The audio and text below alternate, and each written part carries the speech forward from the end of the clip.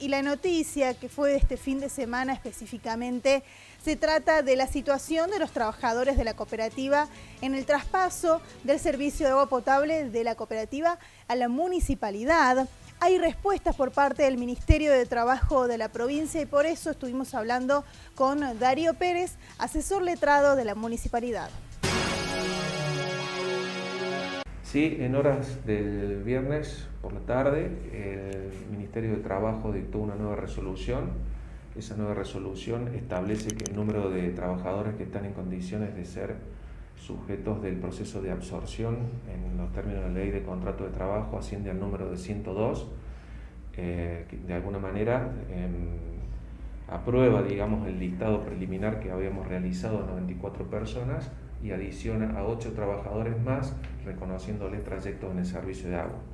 Entendemos que a partir del día de la fecha, a través de la Dirección de Delegaciones del Interior de la provincia y del Ministerio de Trabajo, se va a establecer el procedimiento y el mecanismo con el que los trabajadores van a poder aceptar este proceso de absorción para lo que van a tener que manifestar su conformidad en ese sentido.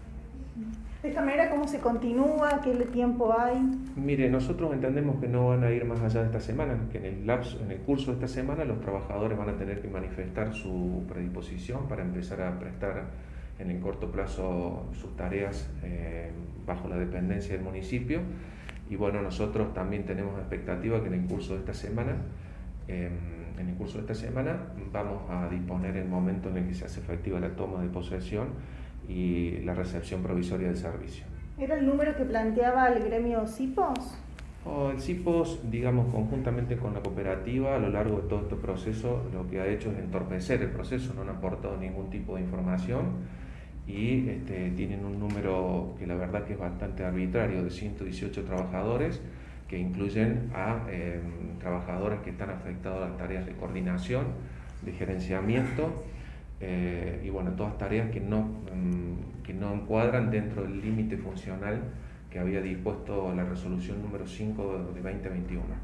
En consecuencia, bueno, eh, nosotros con la satisfacción de que el listado de 94 personas que propusimos estaba bien realizado y bueno, eh, con la colaboración también de la cartera laboral se han incorporado ocho trabajadores que nosotros con la, con la información que teníamos y la falta de colaboración del CIPO y de la gerencia de la cooperativa no hemos podido llegar a, determinar eh, que efectivamente trabajaban en el agua. De esos 102, ¿cuántos eh, comenzarían a trabajar de manera directa ahora? Eh, todos los que acepten, dentro de ese universo de 102 trabajadores, todos los trabajadores que acepten, que pueden ser incluso los 102, están en condiciones de pasar, digamos, ser absorbidos por el municipio, con respetando todos sus derechos laborales que tienen que ver con la antigüedad, categoría profesional, monto de remuneración y jornada laboral. En el caso de que haya alguno que no acepte o que se necesite más, más personal, ¿se recurre al registro ese que se había abierto? En el caso de que alguno de los trabajadores de la cooperativa no acepte, eh, va a continuar prestando sus labores, va a seguir siendo empleado de la cooperativa y bueno, eh, la pregunta que usted me hace, digamos, eh, lo va a resolver seguramente el director de recursos humanos del municipio conjuntamente con el subsecretario. La verdad que hablar, digamos, en abstracto respecto de la cantidad de trabajadores que van a empezar a prestar el servicio resulta aventurado en este momento. Ahí estaba entonces la respuesta. Sofía, acá ¿Cómo le va, Marcelo? ¿Llegó? Llegó. Sí, tuve un percance en el camino, no mío, sino de otro. Claro, el tránsito. Pero bueno, de tránsito, ¿eh? en un sector donde no se puede pasar. O sea, te quedas y te mm, quedas. Claro, hasta que no podés pasar. No se puede pasar. Y la segunda vez que me pasa. Es de riesgo, la segunda vez que me pasa lo mismo. Bien, pero llegó, acá está. Son ¿eh? camioncitos muy viejos que se quedan, se, se quedan parados y, y detienen parados. el y, tenemos la gente un poco los ayuda para poder correr porque eh, normalmente se, en, la calle Roma no se puede pasar. Claro, no, no, no. O sea, hay uno que se para en la punta, deja pasar a todos los autos, para los que vienen del otro lado. Un lío. Un lío. ¿eh? Muy bien, ahora sí, entonces... Eh, bueno, ahí estaba entonces la palabra de Darío Pérez, ¿no? Exactamente. 102 trabajadores, Marcelo, finalmente. ¿Mm? ¿Yo le, puedo contar algo? ¿Una, infidencia? Sí. Una infidencia.